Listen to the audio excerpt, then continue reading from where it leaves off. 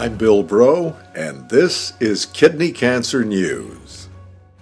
As we span the globe with stories of interest to families dealing with kidney cancer, as well as medical professionals, this month we'll hear from Dr. Tim Eisen, one of the presenters at our most recent Kidney Cancer Symposium in Chicago. We'll also take a look at the latest issue of Kidney Cancer Journal. And we have news of an important development in vaccine research, too.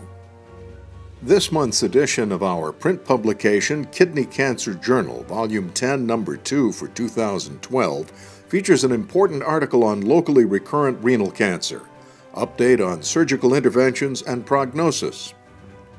The late father of a deceased patient sponsored the work of the International Kidney Cancer Working Group, funded by the Kidney Cancer Association. This is a project that was in process for more than a decade and a paper has been published in the Journal of Urology Improvement in Overall Survival of Patients with Advanced Renal Cell Carcinoma Prognostic Factor Trend Analysis from an International Data Set of Clinical Trials. You can read an abstract of this paper online at kidneycancer.org. Immatics Biotechnologies, a biopharmaceutical company developing a rationally designed therapeutic vaccine active against cancer, has announced that it has completed patient recruitment to the pivotal Phase 3 trial evaluating its lead cancer vaccine, IMA 901, for renal cell carcinoma. The trial has completed patient inclusion. It's expected that around 345 patients will be randomized across 10 countries in the U.S. and Europe. The first overall survival results are expected during the first half of 2014. For complete details on these and other stories, point your web browser to kidneycancer.org. Look for the press room link on the homepage. Now, Dr. Tim Eisen kicks off the first in a series of reports from the recent International Kidney Cancer Symposium in Chicago. Note that you can view both presentations and abstracts from this meeting online at kidneycancersymposium.com. Sure, it's a pleasure. Thank you very much for asking me to do this. I'm a medical oncologist and I work in Cambridge where I'm the professor of medical oncology and I specialize in kidney cancer and lung cancer there. Uh, and I also help run the clinical research side of our operation in, in Cambridge. So I've been working in kidney cancer now for uh, several decades, two decades. Uh, and so I was involved with the initial development, particularly of sorafenib and then um, some of the other drugs involved. Yes, I'm presenting a, a summary, if you like, and my view of the data that will affect the choice of first line treatment recommendations for patients. So uh, I think there are a number of things that I'd like to cover in this. The first is that we've had a generation of agents, sunitinib, sorafenib, pazopanib, which are very similar to each other. They're what we call multi-targeted tyrosine kinase inhibitors. They target angiogenesis, new blood vessel formation, which is very important in kidney cancer. Um, and they do it by hitting a receptor called VEGF-R2 and another number of other receptors. So um, they are, I think they're more similar than initially we first thought. So we have very effective ways of controlling the kidney cancer with these agents for between 9 and 12 months nowadays with the existing first line agents. And the data that I'm reviewing at this conference is comparing uh, two of those agents, sunitinib and pazopanib. And the bottom line is that in effectiveness terms, they are pretty similar. You, we couldn't see any statistically significant difference between them in a large study. And those data are presented by, um, well, they're Bob Motzer's data originally, um, presented by Camillo Porta at this conference. And then uh, the other data I'm thinking about are with the, what I would call the second generation agents. So these are agents which are also similar to sunitinib, pazopanib, sorafenib, but they are more potent at hitting the key target, and they are much less potent at hitting the targets we don't want to hit. So this is trying to give the idea that we have on-target things that we do want to do, and off target things that we don't want to do because they cause side effects without benefit. So the second generation of agents, like uh, agents like tivozanib and axitinib, um, do cause side effects, but they cause on-target side effects. Things like high blood pressure, things like dysphonia, so you can get a hoarseness of the voice. Um, why that's on target, we're not sure actually, but we do recognize it with all these agents and it correlates with how potent the agent is. And another thing, sticking with the neck, is that it can tone down the thyroid gland, so hypothyroidism. We would consider all of those to be on target effects. Examples of off target effects are things like uh, the skin rash, the hand foot syndrome that one gets, uh, the diarrhea. We think those are off target effects. Um, uh, and another one which is important are liver function test abnormalities. So it's a question of balance between the side effects on the one hand and the effects on the other hand. Now, uh, when we're comparing uh, data from the COMPARZ study, which compares sunitinib, which is our existing standard of care, with pazopanib, uh, which is a very similar drug but used in a slightly different way, we find that in effectiveness terms there's really nothing between them. There's no statistical difference between them. But what there is, is that patients seem to prefer the pazopanib. So these are from a separate study called the Pisces study, where patients were given first one drug, then the other, and asked, which did you prefer? And neither the patient nor the doctor or the nurse knew what treatment the patient was getting. Uh, and 70% of the patients actually said they preferred pazopanib compared to 20% saying they preferred sunitinib. So it's not 100 0 not everyone could choose between them. Most people could, but most people who could choose chose pazopanib. We didn't see such a clear distinction in this um, COMPARZ study. The purpose of the COMPARZ study really was to check that the, you weren't swapping slightly more convenience and slightly fewer side effects for much less effectiveness, because I think that's a very difficult thing to square then. So I would say that the bottom line of those data of importance today is that for most patients who have no liver problems, um, most patients would probably tolerate pazopanib a bit better. It would be a bit more convenient. It would be a bit easier just to include it in your normal day. But I think that sunitinib is still a good drug and will still be better for several patients. Now, in certain parts of the world, you'll be able to get both drugs. In the part of the world I come from, you'll probably have to choose one or the other. So it may be more important data in one respect for me, in that it helps me, if I've got one shot, which shot do I offer the patient? So those are the data for today. There were also data for tomorrow, if you like, which I don't think are quite ready for prime time yet. The most advanced data are with a drug called tivozanib. That's one of these second generation drugs, highly potent, highly specific. And that was compared with sorafenib, which is, was, I suppose, meant to be a drug which is easy to beat. Interestingly, we are much better at using sorafenib now. We recognize how to use it better. And so the results we're getting with sorafenib are really in exactly the same ballpark as the ones we're getting with sunitinib and pazopanib. Interesting. I wouldn't say that's really established it as a first line of care at all. But in this study, tivozanib was found to have a longer period of controlling the disease, just over a year. It's the first time we've gone over the year mark for patients who've not had treatment before. And apart from these on target effects, tivozanib was otherwise pretty well tolerated. So we are getting hypertension, we are getting dysphonia, this uh, changing of the voice, and we are getting toning down of the thyroid gland, all of which can be coped with, particularly the blood pressure, hypertension, and the thyroid gland. The dysphonia is trickier actually. Although it sounds least serious, you can do less about it. And so for some patients, this is irritating. From my experience, it's not terribly irritating because it does happen with the other drugs as well. It tends to happen a bit more with these highly potent agents. So I think tivozanib, you, you, could say, well, it's a good drug, it should be available immediately, and, and in fact, uh, the company has applied in the US to use it. And, and I think that would be a reasonable thing to do. So for somebody where quality of life is the number one consideration, and that's in my certainly in my practice in the United Kingdom, quite a lot of patients, I would say tivozanib is quite an attractive option. Uh, other patients would feel efficacy and long-term survival are best, and we don't have those data reliably. In fact, interestingly, this study was mainly done in Eastern Europe about 80% of patients came from Eastern European countries where the situation is very different from the US. Uh, often no effective treatment is available outside a clinical trial.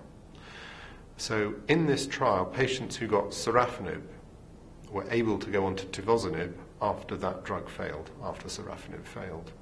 But the same was not true, or the opposite was not true of patients who were allocated to tivozanib. So after tivozanib, most patients didn't get any other treatment. And that is one plausible explanation for why patients in the sorafenib arm going on to tivozanib survived longer. Um, so there is a significant difference there, but the data are early. And I think although the explanation I've given is plausible, just because it's plausible doesn't mean it's the right one. And I think there is a, we have to say that that is a caveat. My own feeling is that um, we can get a little bit bound up in, in detail in oncology, but I think this is quite an important distinction. I don't think we need another phase three trial to show that tivozanib um, uh, causes uh, the same or helps the patient to live for as long as, shall we say, pazopanib or sunitinib, because I think that's going to take another three or four years. So it's going to, uh, I don't think we need another phase three study to compare survival. But I do think we need some data to show that the results we're getting for patients with tivozanib are very, very similar to those we're getting with sunitinib. So I think those are data for tomorrow, and the other data for tomorrow uh, will, I think, be available sometime uh, at GU ASCO or ASCO next year are with axitinib. So there is a first-line study comparing axitinib, another second generation, with sorafenib, the drug that everyone wants to beat, because it's meant to be the weakest of the available options. Um, so I am expecting that we will have data for that drug as well, and I think those could be very persuasive data, and the importance of those would be that axitinib could then be brought forward as a first-line option. And I think that depending on how good those data are, that may well establish axitinib as the agent of choice in the US, where it'll be available first. Uh, in Western Europe, that would be much slower. So, if you like, in my view, pazopanib has a period of time in the sun, but then there are new agents coming down the line. And the very last comment I want to make is that this is not the end of the story. I think we're very close to achieving all we're going to do with single agent tyrosine kinase inhibitors. But at this conference and other conferences, we've heard about new immunotherapies, new targets for drugs. Um, we're going to get adjuvant therapy data, all of which may cause major benefits for patients in the years to come. And I think this is a, a, really exciting prospect where hopefully we will be controlling disease for much longer. And of course, the golden chalice, if you like, is to get rid of it altogether. I think there are two questions that everybody should ask their doctor when they get this sort of news. And the first is Can you tell me exactly what's wrong with me in my kidney and elsewhere in my body?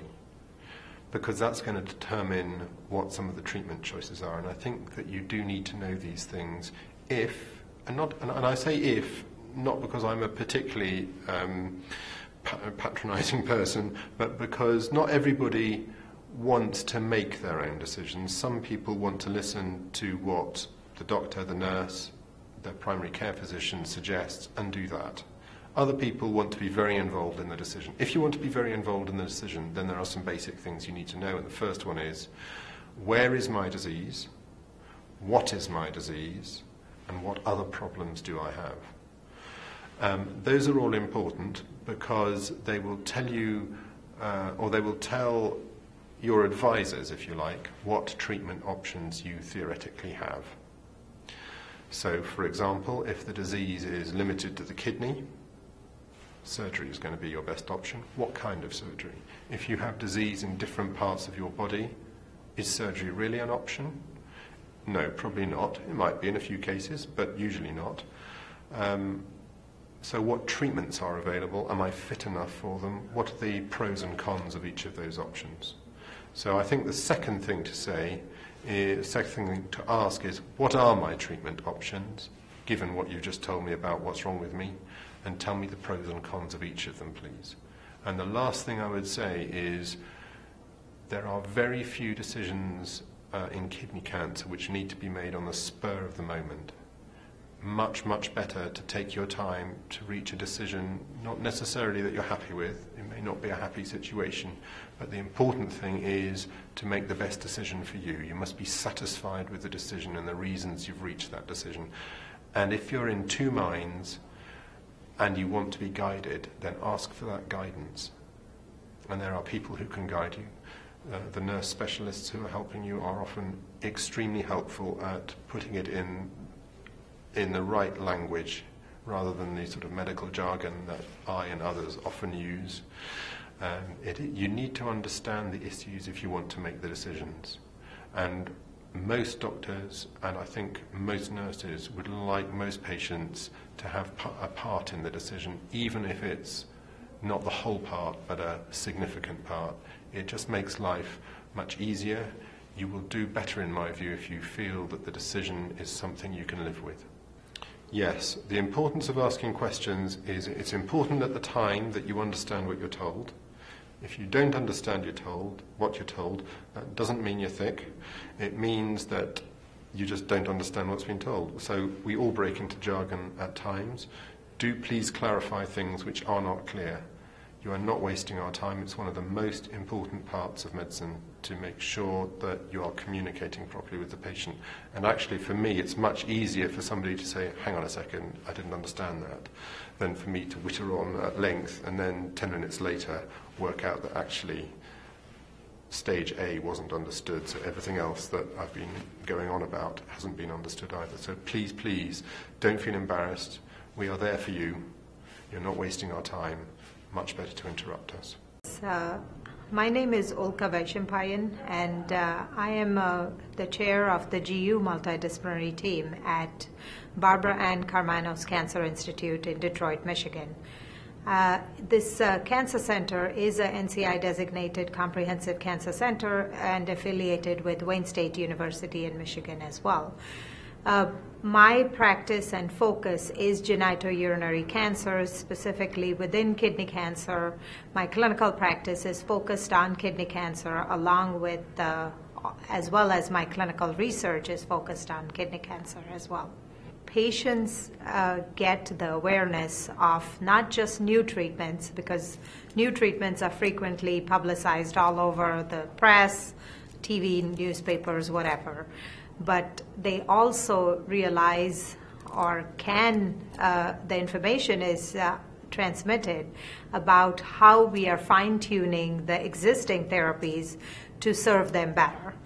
And the optimal treatment is still being decided for an individual patient. And we are really at the beginning of getting different genetic markers that may help us predict response. My presentation today is focusing within patient management issues of the disparities in uh, treatment of uh, kidney cancer.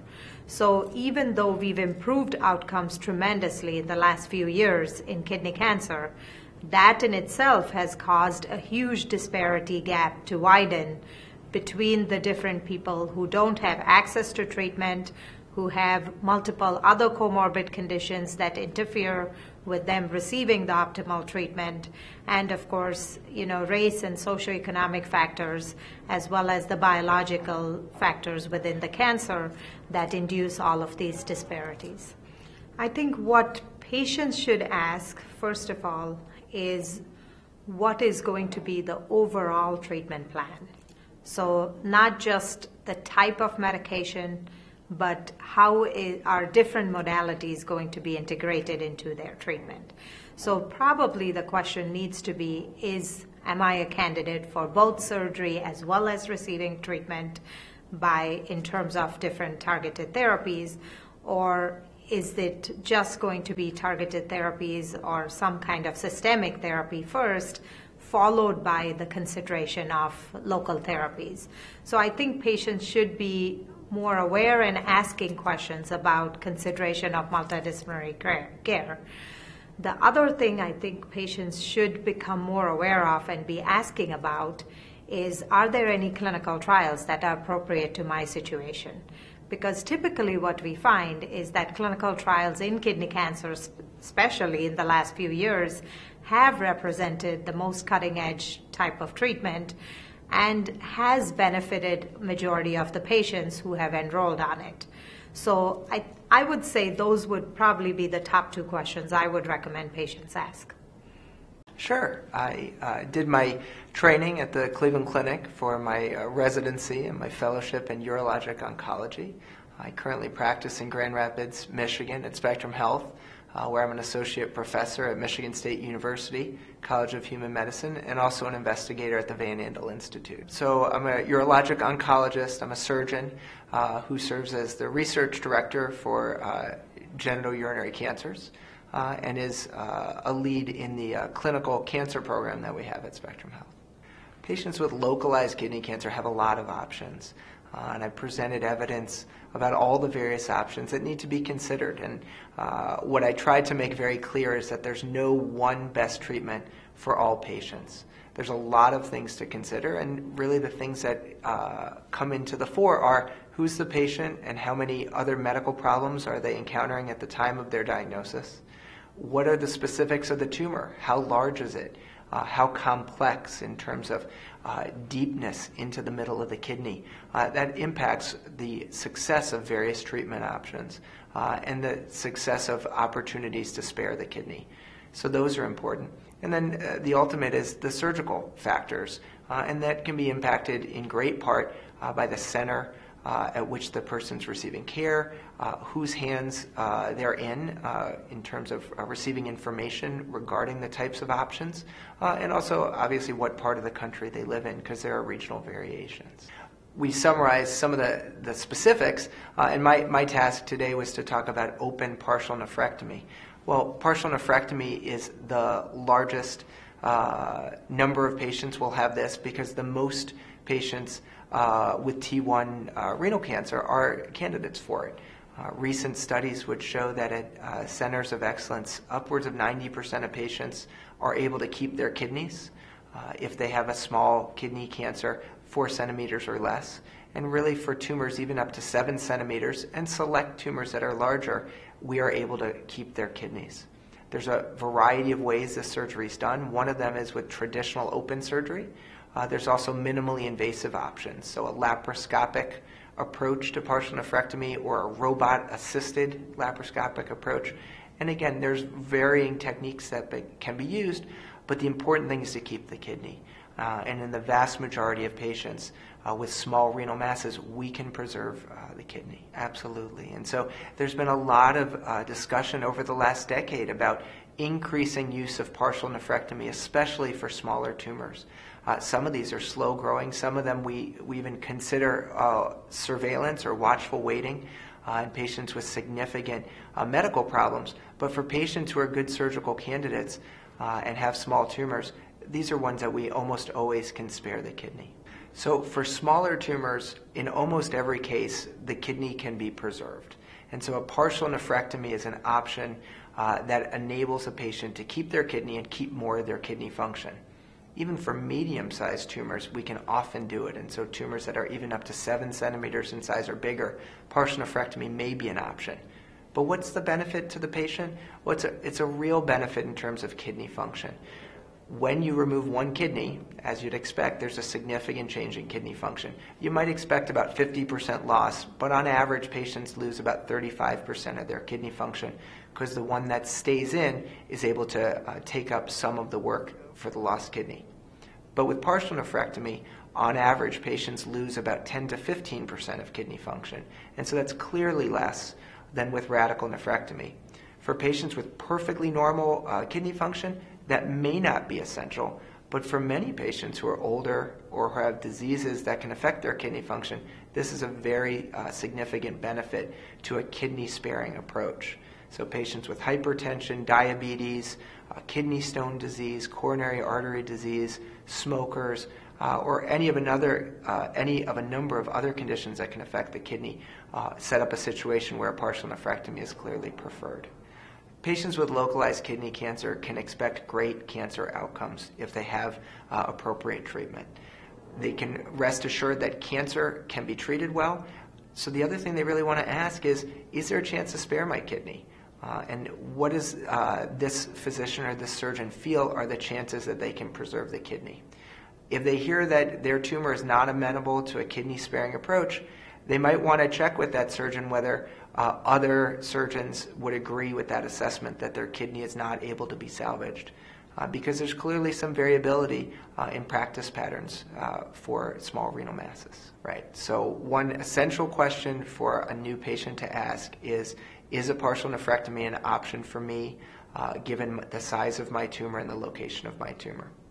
If the answer is yes, that's uh, good for their long term outcome. If the answer is no, they might want to double check uh, and know that uh, this is indeed the case that their kidney is going to have to be removed.